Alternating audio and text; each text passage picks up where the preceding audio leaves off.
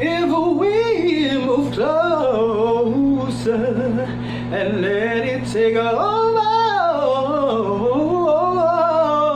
then love.